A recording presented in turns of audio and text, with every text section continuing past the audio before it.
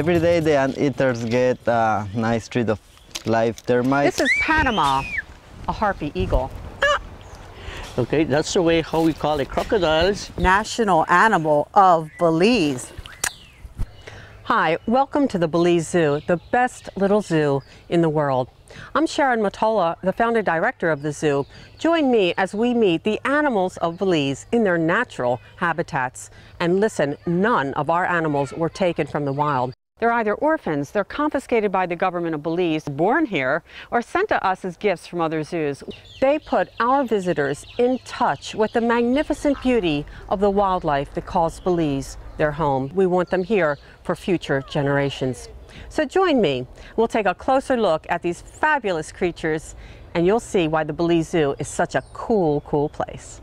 Part of the fun about coming to the zoo is getting very, very, very close to these fabulous creatures. Beautiful bird, huh? This is a scarlet macaw, a very special bird here in Belize. Very rare. Uh, very few left, and we hope that these macaws alert all of our visitors about how special our country is to still have a few of the birds. Good! This is a very famous April the Tapir, one of our longest residents here at the Belize Zoo. She's been here for over 20 years, and April has educated thousands of people about her species, the Central American tapir, how rare they are, how endangered. They are our national animal, and we are still very lucky to have them living in our forests. One of the things that we want to do here at the Belize Zoo is breed this endangered species. It's very important to keep healthy genes in captivity just in case there's a chance to put them back in the wild in the future and possibly have a tapir family at the Belize Zoo. April the tapir particularly likes the month of April because that's when she has her annual birthday party. Yes. And we always invite school kids. Everybody has a great time as April shares her cake with her buddies Sabo and Bullethead. The importance of the zoo is to educate the children about animals. Who wants to come see the zoo with me today? Me. Who wants to see the spider monkeys? Me. All right, good. Let's go. Oh, he's gonna jump. Watch. Ready? Can you jump like that? Oh. They're gonna start swinging again, guys. Watch.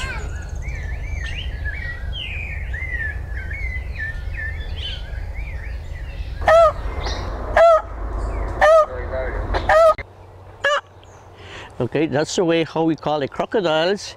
And they are cold-blooded. It's a natural habitat. They have fresh water, so they can swim very good. They don't eat every, every day. We feed them every 10 or 15 days.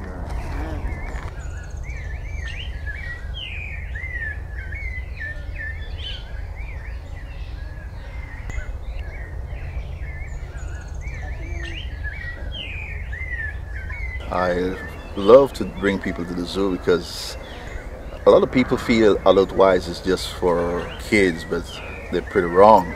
It's fun. It's beautiful because all the animals are in their natural habitat. That's really nice to see.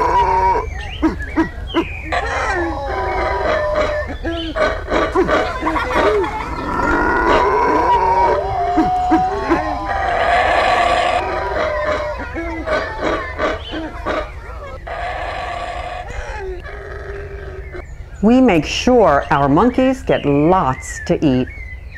The Belize Zoo is the only zoo in the world who has successfully bred this species of howler monkey. Come and see just how cute they are.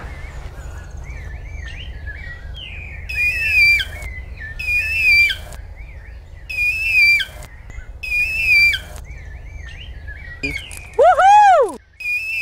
Are you a hungry boy?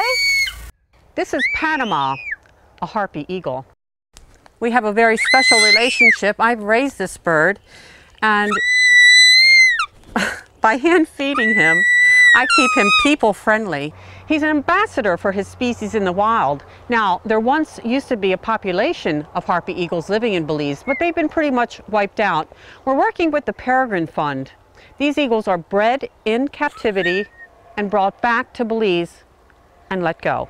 Hey, they're doing great. They're living, they're thriving. Panama could not be released because he was hatched, unfortunately, blind in his left eye. So this guy has a very important mission. He's a spokes harpy for his wild counterparts, and he teaches thousands of people that harpy eagles are pretty cool birds. No, they don't attack people. Yes, they're important to keep the forest ecology here in balance. The Harpy Eagle is awesome.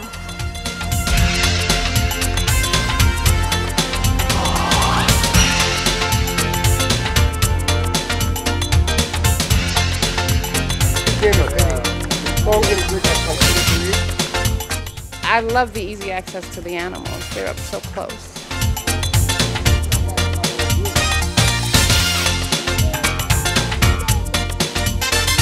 I like the crocodile. Black jaguar, you all get carried away. Look at those teeth. Beautiful animal. Look at the animal and the forest.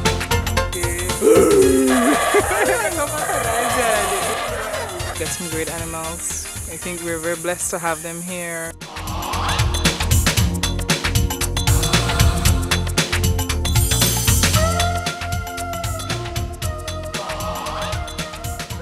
Well, besides some very interesting things to see inside the enclosures here at the Belize Zoo, we have some interesting things outside of the enclosures, like this. What you're looking at is a termite nest. That's right. Termites, related to ants, are highly socialized insects, and they live in huge numbers. They're blind as bats. As they build these nests, they actually chew up old wood and dissolve it and make these little chambers. And there is one thing that is totally enamored by the termites our anteaters. Every day the anteaters get a nice treat of live termites. Um, you can see how they are busy now, ripping it off. And as you notice, they love the attention. The zookeepers have a passion for these animals, and as they go about doing their daily chores, they spend as much time as they can